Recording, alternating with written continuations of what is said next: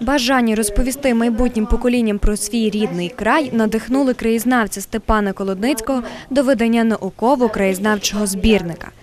Книга «Підгайці та Підгаєчина» вміщує наукові розвідки, краєзнавчі нариси, спогади уродженців Підгаєчини, які живуть за межами рідної землі.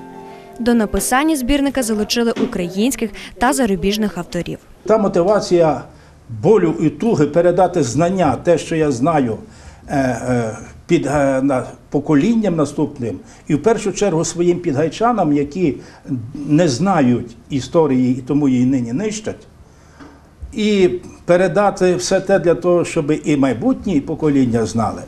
Презентацію відвідали краєзнавці, науковці, уродженці Підгаєчини й ті, хто цікавиться українською історією.